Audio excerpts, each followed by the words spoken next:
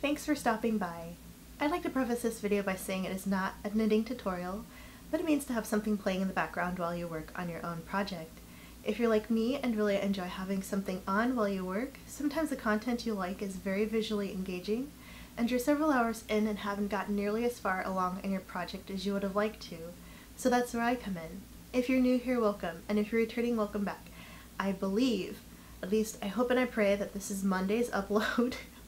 So happy Monday to you if it is. If it's not, then the the next couple videos I'm going to be filming are going to be really out of whack, but it is not Monday's upload because I think when I was recording Friday's video, I never hit record. so this video is for Friday, and then I will have to film again for the next week, but you'll see me soon. But just so you know, this is this is Friday's video. Disregard anything I talk about re referring to Monday because Monday's video is now this uh, or this used to be Monday's video, but now it's going to be Friday's because Friday's video never was recorded. So we're we're a little bit weird. It's a little bit back to the future kind of time warp situation, but bear with me it wouldn't be a Paws and Pearls video if it didn't go wrong in some way, shape, or form, correct? Correct. Alright. Just know that I tried. um, we are going to continue to work on the sock for my cousin. It is the point where we are shaping the heel flap, or doing the heel flap right now, and I need to have 20, uh, or not 26, 32 rows of stitches or rows of knitting, purling and knitting so that um, I have a full full gamut there. So let me double check that I actually need to start. Let's see. Yeah, yeah. Exactly what I thought.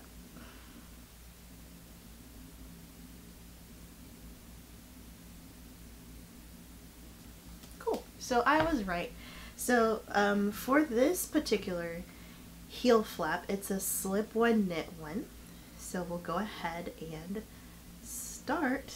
And I have my trusty stitch counter here at zero so that I will keep track. So I hope you are all having a good day wherever you are. Happy beginning of the week, I guess.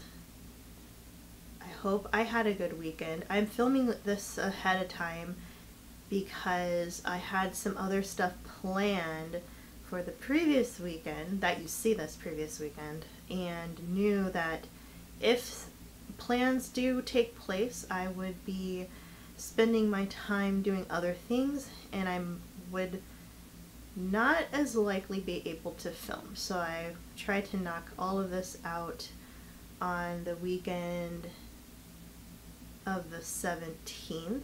Well, like 17th was Saturday, so the 18th of October is when I'm filming this. I was filming my other videos for the end of the week and then all of a sudden I'm like, hey, you know what? I didn't eat breakfast and I didn't eat lunch. So I should really have some food because I was starting to get hungry. And previous week's episode talking about full and how I liked full, I was thinking about making some hot cocoa. And I think the thought of having hot chocolate just kind of amplified my hunger. So I had some food had another cup of coffee. I did have coffee when I woke up, so that kind of, I was thinking I need to have something for breakfast too, but then after my coffee, I wasn't really hungry and decided to start filming, and after a while it really kicked in that I should have had some breakfast after having my coffee.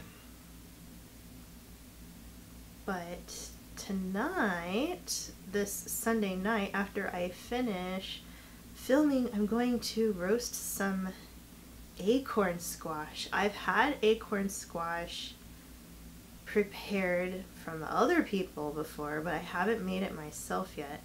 And I got a delivery from Instacart, and this time the person got everything. Um, well, everything that was in stock they got, and the replacements that I asked for were properly supplied. And it turned out that the person who delivered everything had come to my house before, and I the name looked familiar. Like after it sunk in a bit, I was like, "Oh yeah, you have been here before." So it was pretty cool. But yeah, they're they were good ones. Hopefully, if they are still in business, the next time I have to place an order, they will be the one to complete it. I don't know what their schedule is or anything, but they're very, very communicative, very thoughtful. Uh, so I like to give that guy a, gr- a good review and boost his tip. Um, I usually do 15% for the deliveries, but if everything goes really, really well, then I change it to give them more.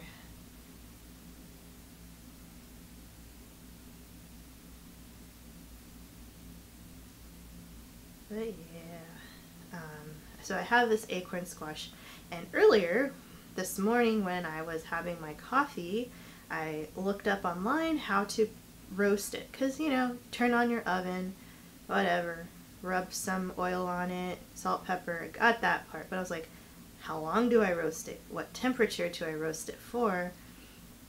So I needed some of those details, So I found a an article and now I'll be ready to make dinner after filming Friday's video.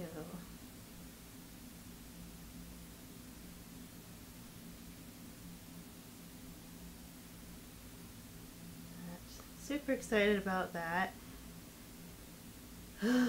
it's just nice that fall means I can actually turn my oven on again. It's been chilly in here at least chilly for me. It's uh, I usually keep it at a toasty 74 degrees in my apartment during the fall and winter months, but uh, I guess maybe to my advantage the thermostat hasn't kicked on yet, but it is about 70 or 72 degrees in my apartment or my townhouse currently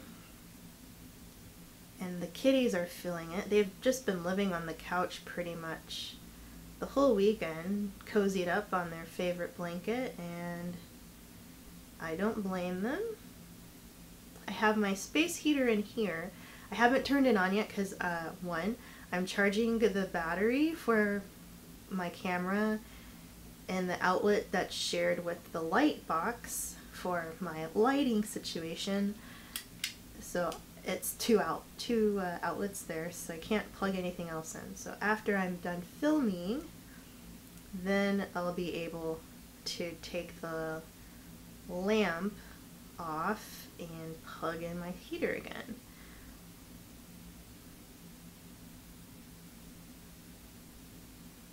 And I haven't heard from my my partner yet. If you guys haven't watched last week's video I think it was Monday that I was Monday's upload I was talking about, uh, my partner has to do overtime this this day, this Sunday that I'm filming, and they had to be at their job at 9 o'clock in the morning, and they don't know when they get to come home, and they have to put in some more hours later this week, so they have a big project at their job but the one thing that's nice is they get paid overtime. However, like when I talk to you guys about going in, I am a salaried employee, so I do not get any overtime.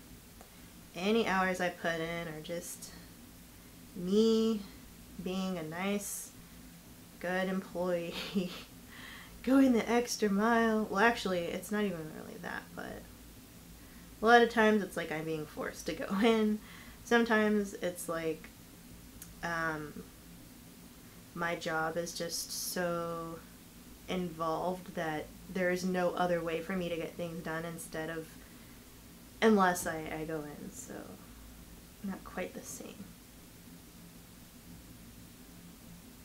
I really like that I'm working on this flap with the pretty color that I like. I mean, all the colors in this chroma yarn colorway are really pretty, but I love that teal. If you know me, you know I love that color.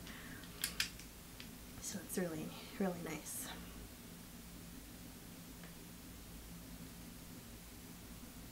But I am excited to get some DK sock, well, DK yarn that will work for socks. A lot of it isn't, okay, so for me, when I've been looking at yarns, I see the blend, like the, the nylon and such and such, or the polyamide and such and such, like natural fiber mix for socks. But when I look for DK, when I look for sport, I don't see that blend, at least for like indie yarns and stuff. So if you um, if you see some, let me know because I I've bought some DK yarn.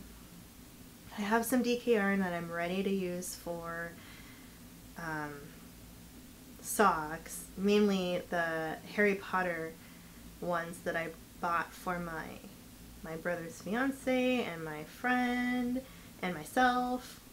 Hopefully next year I can do those, but um, I haven't actively bought any other DK weight yarn for socks because I haven't found any that has like that blend with the nylon. So if you guys know of any, let me know. I'm going to try looking at this Etsy shop that I bought from before. It's called Five Yarns, I think. I still have them favorited in my my library, but last year for my birthday I was suggested them as a brand to try out for yarn and I still have the yarn. It's sock weight though and haven't used it yet. But I'm excited to when I can it's really pretty yarn.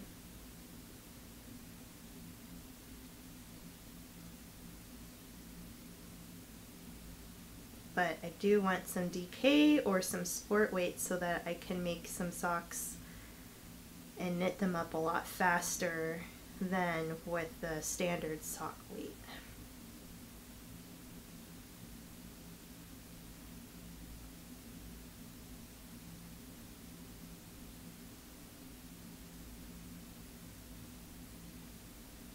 but I don't want them to be like thick like worsted. Just a little bit thicker than a regular sock, but not, you know, not for like slippers or boots, but like a athletic shoe, kick around shoe.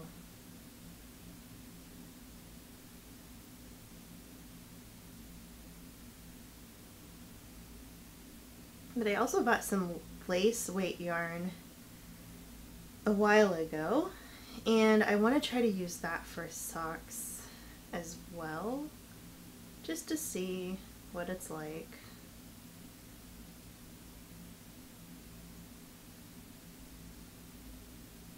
Because then it's like closer to closer to the kind of socks you buy at the store.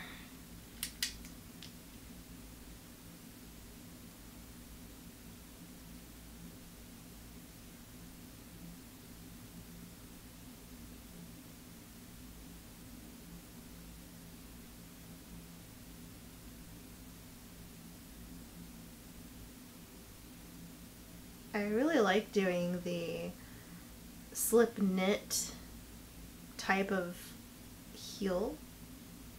It's just kind of fun to, to do every other.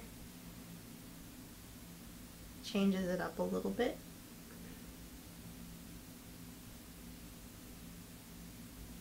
You just got to remember which one you're slipping and which one you're you're knitting. That happened to me when I was doing one of the other socks recently. I can't remember if it was for my cousin or if it was for her daughter, but when I got to the end, I'm like, something's not right here.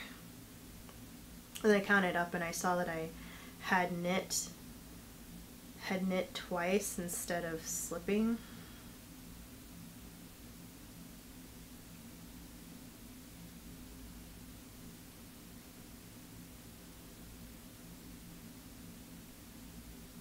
That is okay.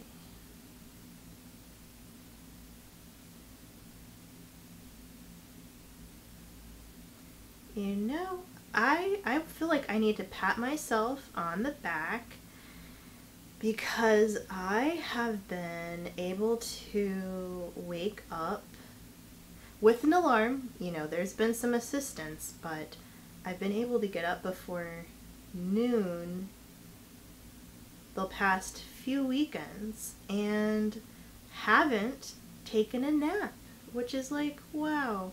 For me, that's that's pretty impressive because I love to nap and I love to sleep in and I also love to stay up really late, but I've been trying my best to well, okay, a little bit trying. My my efforts have been toward uh, going to bed by 1 a.m. every day, but I have been staying up later recently because I was working on some work for my job and like the volunteer thingy I was doing. Oh. Oh, where did I? Messed up. Hold on a second.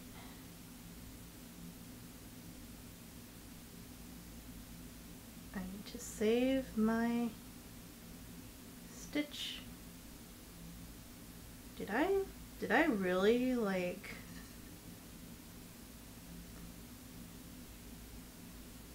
I think I slipped one by mistake.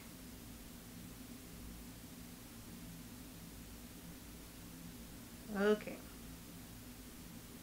Maybe I slipped it. This is not the side that I need to be slipping though.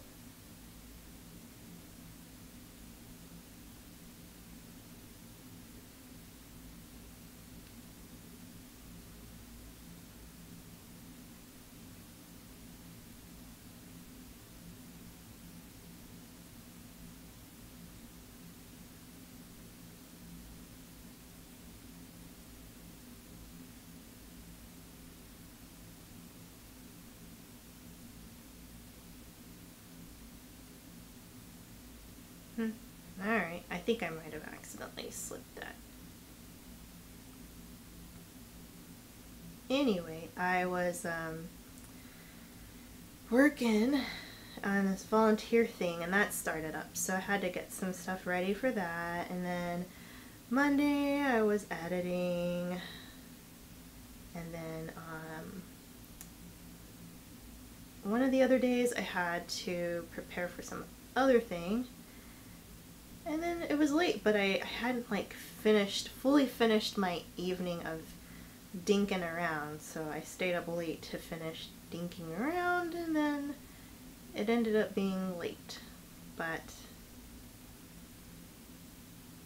but beyond that, I have been been doing a pretty good job of not staying up as late, like, you know, four or five o'clock in the morning. That has not happened in a while, so there's that. But I am trying to stick to one because I found that one o'clock is a good time for me where even though it's not the most sleep that I would want, I am still pretty functional with going to bed at 1 and then waking up at at least like the weekday waking up at 7 7:15 or so. So that's helpful. So it's weird. I have like this, I'm trying to figure out the formula. It's like sometimes if I have a lot of sleep, I feel worse. And then sometimes if I only have a few hours of sleep, I'm like, okay. But if it's really, really short amount of hours, I feel really bad. And then if it's just a long time, but not like 12 hours, then somewhere between 9 and 10 hours of sleep, I'm okay. It's, it's just really weird, really weird.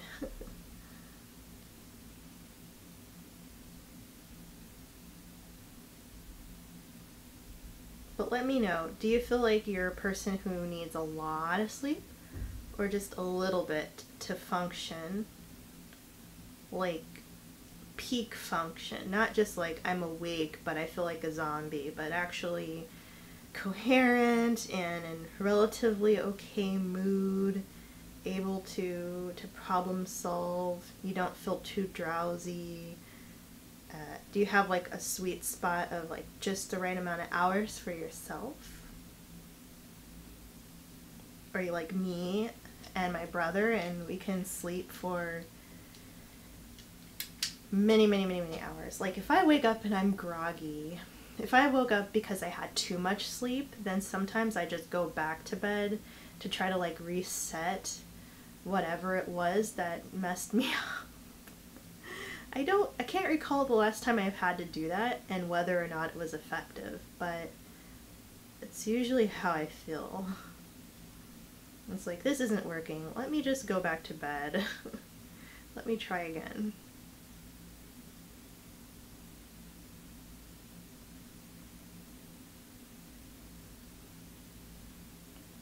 I remember my parents would get so mad at my brother for sleeping in so late. I don't even think he stayed up late. I think he just slept a long time.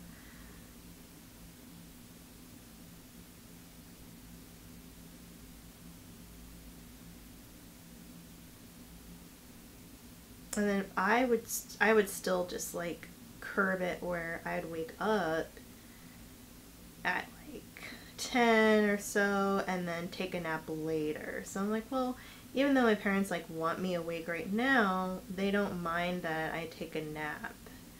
As long as, you know, I don't feel like I need to stay up all night because of the nap. But once we were in our room, it was just like whatever. Like if you didn't sleep, you didn't sleep, but you couldn't you couldn't like have activities as if you were normal awake person. Like you couldn't be watching TV if it was bedtime, you had to just lie there until you went to sleep or something.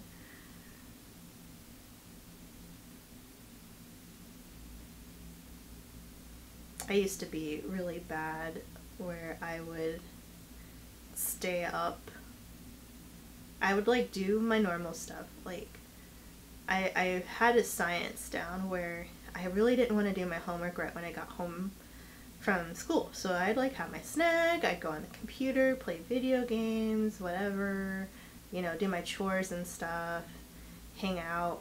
And then right when it was time for bed, I'd go in, my room and I would I had a walk-in closet in my house and I'd go in my closet and I'd put a pillow under the door, close the door, turn on my light, and then I would just do all my homework in the closet. Because I'm like, I want to do fun stuff during the day when people are around, and then I'll do my homework after bedtime. And despite having like no sense of um, discipline and and creating a schedule for myself, I I was a good student. I got really good grades. Um, so that was nice. I was lucky in that aspect, but I wouldn't recommend it to anybody because the stress of like trying to do stuff, especially because by then I had all my, um, you know, my friends, my family was asleep, so it wasn't like I could. And this was before cell phones. Like I, cell phones existed, but they weren't like smartphones. Like there were some, but it was still very early stages of them, so I didn't have texts like that. I had like 100 texts a month I could share with my family,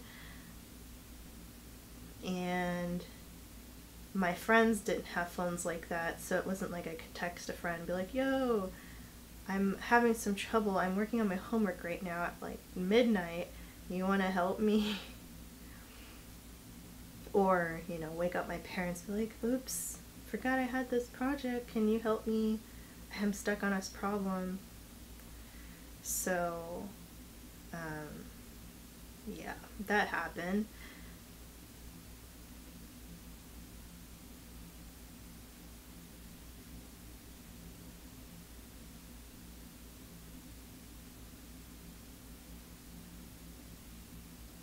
But I think if I had, I mean, I don't plan on having any children. If I have children, uh, I think HE doubles hot HE double hockey sticks would probably freeze over because I'm just not.